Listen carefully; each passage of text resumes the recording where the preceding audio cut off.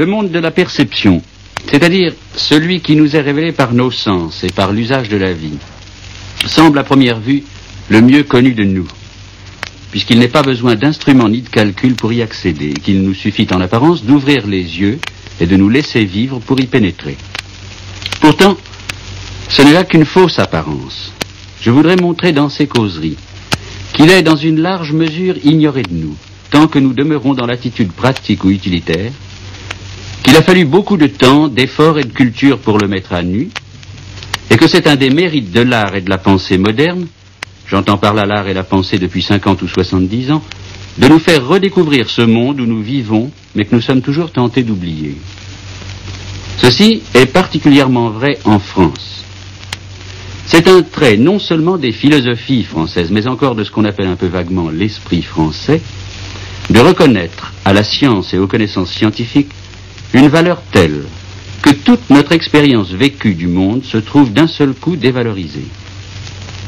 Si je veux savoir ce que c'est que la lumière, n'est-ce pas au physicien que je dois m'adresser?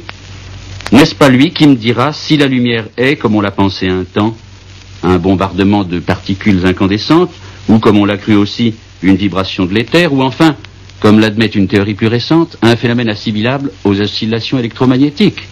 À quoi servirait-il ici de consulter nos sens, de nous attarder à ce que notre perception nous apprend des couleurs, des reflets et des choses qui les portent, puisque de toute évidence ce ne sont là que des apparences, et que seul le savoir méthodique du savant, ses mesures, ses expériences, peuvent nous faire sortir des illusions où vivent nos sens et nous faire accéder à la vraie nature des choses. Le progrès du savoir n'a-t-il pas consisté à oublier ce que nous disent les sens naïvement consultés et qui n'a pas de place dans un tableau vrai du monde Le monde vrai, dira le savant, ce ne sont pas ces lumières, ces couleurs, ce spectacle de chair que me donnent mes yeux, ce sont les ondes et les corpuscules dont la science me parle et qu'elle retrouve derrière ces fantasmes sensibles. Descartes disait même que le seul examen des choses sensibles, sans recourir aux résultats des recherches savantes, me permet de découvrir l'imposture de mes sens et m'apprend à ne me fier qu'à l'intelligence. Je dis par exemple que je vois un morceau de cire. Mais qu'est-ce donc au juste que cette cire? Assurément, ce n'est ni la couleur blanchâtre, ni l'odeur de fleurs qu'elle a peut-être encore gardée, ni cette mollesse que mon doigt sent, ni ce bruit mat que fait la cire quand je la laisse tomber. Rien de tout cela n'est constitutif de la cire, puisqu'elle peut perdre toutes ses qualités sans cesser d'exister. Par exemple, si je la fais fondre et qu'elle se transforme en un liquide incolore, sans odeur appréciable et qui ne résiste plus à mon doigt. Je dis cependant que la même cire est encore là. Comment faut-il donc l'entendre?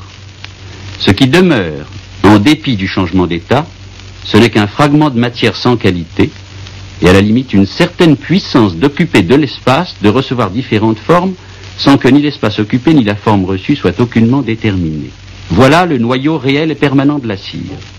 Or, il est manifeste que cette réalité de la cire ne se révèle pas au sens tout seul, car eux m'offrent toujours des objets d'une grandeur et d'une forme déterminée.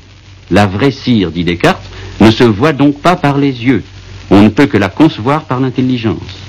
Quand je crois voir la cire de mes yeux, je ne fais que penser à travers les qualités qui tombent sous l'essence, la cire toute nue et sans qualité qui est leur source commune. Pour Descartes donc, et cette idée est demeurée longtemps toute puissante dans la tradition philosophique française, la perception n'est qu'un commencement de science encore confuse, le rapport de la perception à la science est celui de l'apparence à la réalité. Notre dignité est de nous en remettre à l'intelligence qui nous découvrira seule la vérité du monde. Quand j'ai dit tout à l'heure que la pensée et l'art moderne réhabilitent la perception et le monde perçu, je n'ai naturellement pas voulu dire qu'il n'y ait la valeur de la science, soit comme instrument de développement technique, soit comme école d'exactitude et de vérité. La science a été et reste le domaine où il faut apprendre ce que c'est qu'une vérification, ce que c'est qu'une recherche scrupuleuse, ce que c'est que la critique de soi-même et des préjugés propres. Et il était bon qu'on attendît tout d'elle dans un temps où elle n'existait pas encore. Mais la question que la pensée moderne pose à son égard n'est pas destinée à lui contester l'existence ou à lui fermer aucun domaine. Il s'agit de savoir si la science offre ou offrira une représentation du monde qui soit complète, qui se suffise, qui se ferme en quelque sorte sur elle-même, de telle manière que nous n'ayons plus aucune question valable à nous poser au-delà.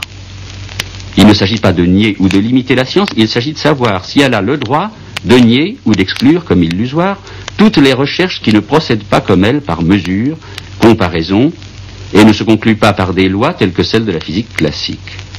Non seulement cette question-là ne marque aucune hostilité à l'égard de la science, mais encore, c'est la science elle-même, dans ses développements les plus récents, qui nous oblige à la poser et nous invite à y répondre négativement. Car dès la fin du XIXe siècle, les savants se sont habitués à considérer leurs lois et leurs théories non plus comme l'image exacte de ce qui se passe dans la nature, mais comme des schémas toujours plus simples que l'événement naturel, destinés à être corrigés par une recherche plus précise, en un mot comme des connaissances approchées.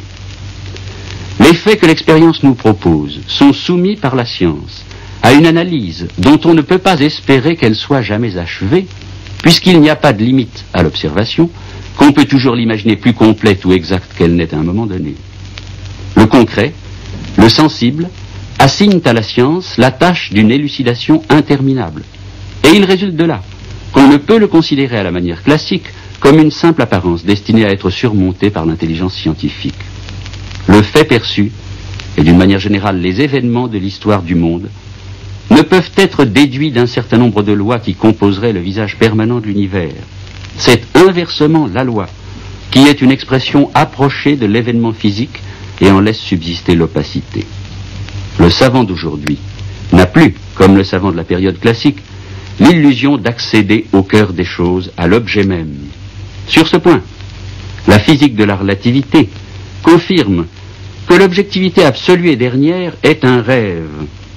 Elle nous montre en effet chaque observation strictement liée à la position de l'observateur, inséparable de sa situation, et elle rejette l'idée d'un observateur absolu. Nous ne pouvons pas nous flatter dans la science de parvenir, par l'exercice d'une intelligence pure et non située, à un objet pur de toute trace humaine, et tel que Dieu le verrait. Ceci n'ôte rien à la nécessité de la recherche scientifique, et ne combat que le dogmatisme d'une science qui se prendrait pour savoir absolu et total. Ceci rend simplement justice à tous les éléments de l'expérience humaine et en particulier à notre perception sensible. Pendant que la science et la philosophie des sciences ouvraient ainsi la porte à une exploration du monde perçu, il se trouve que la peinture, la poésie et la philosophie entraient résolument dans le domaine qui leur était ainsi reconnu et nous donnaient des choses, de l'espace, des animaux, et même de l'homme vu du dehors tel qu'il apparaît dans le champ de notre perception, une vision très neuve